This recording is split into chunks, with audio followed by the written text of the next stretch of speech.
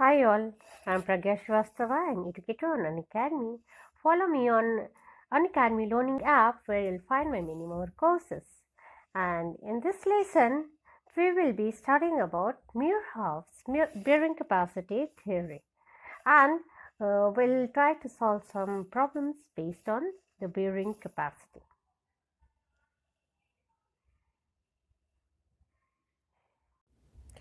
Meyerhof extended the analysis of plastic equilibrium of a surface footing to shallow and deep foundation. This is your shallow foundation and this one is your deep foundation. And to show the failure mechanism uh, on shallow and deep foundation by both Terzaghi and Meyerhof uh, is what I have drawn here. In a sa- same diagram, I have drawn on the left hand side the failure zone by Terzaghi and this is the failure zone as given by Meyerhof so that you can easily uh, see the differences between them. And we have already started about Terzaghi's theory in our previous lesson. And in this lesson, uh, let's see the Meyerhof's theory. Meyerhof, he has actually what he has done. He also assumed this is your, suppose this is your footing, uh, ground level, below which you can see the footing here and B is the width and uh, DF is the depth of the footing. This is the, on application of a vertical load from here, this is your failure wedge which is actually formed here which was similar to that in Terzaghi. Terzaghi also assumed this one and he called this as an elastic zone. Here it is also called elastic zone. But in Meyerhof's theory, uh, what you see that the shear, radial shear zone actually extends up to BDE. This is your radial shear zone and uh, while that in Terzaghi you can see the radial shear zone extended up to only this much. And uh, about this zone he assumed Meyerhof actually assumed this uh, BDEF sorry BEFG BEFG this zone is the zone of mixed shear in which shear varies between radial and plane shear depending largely upon the depth and roughness of the foundation. The plastic equilibrium of these zones can be established from boundary conditions starting from foundation shaft. To simplify the analysis, Meyerhof introduced a term beta. Beta, what is beta? Beta is actually the inclination of this, uh, this line BF, we are going to refer this line as equivalent free surface on which you can see the stresses P naught and S naught. The shear stresses and the normal stresses are acting and this angle beta is actually the inclination of this equivalent free surface from the base of the footing. And uh, in case of deep foundation, what you can see that the angle beta actually increases with depth and becomes 90 degree in case of deep foundation.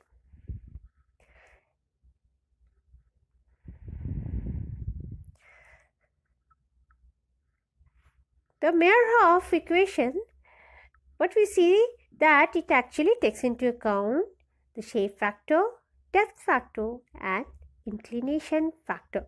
So, Meyerhof's equation is actually more close to the actual loading conditions. He gave that the vertical load is actually equal to QF is equal to CNC SCDC plus sigma bar NQ SQ DQ plus 0.5 gamma B N gamma S gamma D gamma. This is your shape factor and this is your depth factor.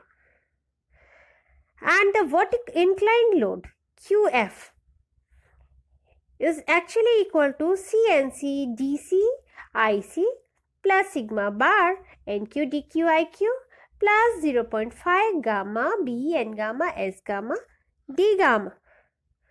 What is this DC and IC? DC being depth factor and IC is your inclination factor. And he gave these constants, the value of these constants NQ and C and gamma as NQ is equal to e raised to power pi tan phi multiplied by 10 square 45 degree plus phi by 2.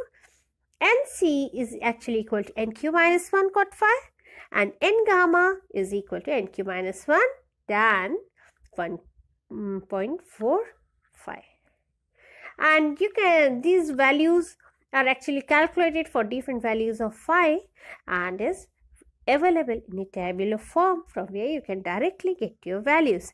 And you need to remember this formula very simple to remember. Just to the Terzaghi's theory. You need to multiply SCDC, SQDQ and S gamma D gamma and for inclined loading DCIC, DQIQ and S gamma D gamma. This is what you need to remember. Rest of these things are generally provided from the table. Now let's try to solve a problem based on the bearing capacity.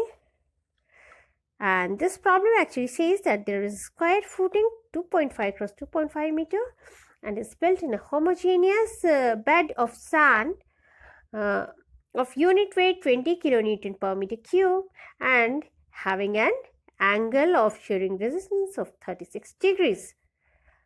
The depth of the base of footing is 1.5 meter below ground level. You need to calculate the safe load that can be carried by a factor uh, by the footing having factor of safety equal to 3 against complete shear failure. If an factor of safety is not mentioned in your problem, then also you need to remember to introduce a factor of safety of 3. And uh, here it is mentioned that you need to use Terzaghi's analysis. So let's see what is given. The first thing that I can see is that it is mentioned that the shearing res resistance is actually equal to 36 degrees. What does this imply? This implies that the failure is going to occur in um, by general shear failure. And from that what we can uh, find out? From the table, we can find out the value of NC, NQ and N gamma uh, with the given value of phi under general shear failure conditions. Now what more is given here? The size of the footing is given 2.5 cross 2.5 that means area is known. Gamma is known. Gamma of sand 20 kilonewton per meter square and the depth df is 1.5 meter below GL. Now, from table we can directly get the value of NC, NQ and gamma which I have written here and we know the value of B, D and gamma it is given in the problem. Now, just directly apply the Terzaghi's equation for square footing and it actually says, I hope you remember, that ultimate bearing capacity QU is actually equal to 1.2 CNC plus gamma DF NQ plus 0.4 gamma B and gamma. You need to remember these equations. Now, be, being a C is not mentioned, that means uh, your um, sand is actually cohesionless, assuming this to be equal to 0.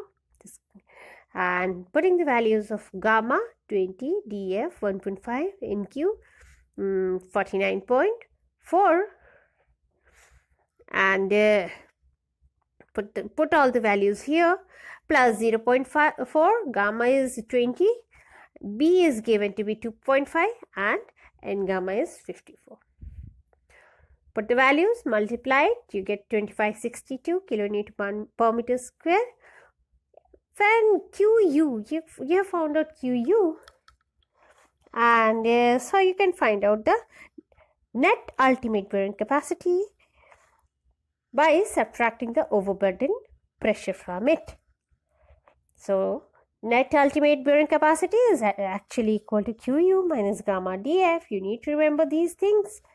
We have already learnt in your previous lessons and put the value gamma DF is 20 into 1.5 subtract you'll get 2532 kilonewton per meter square. Now what again? By getting the net ultimate, actually we need to find out the safe bearing capacity. Net safe bearing capacity, how, how you can be, you can find out this?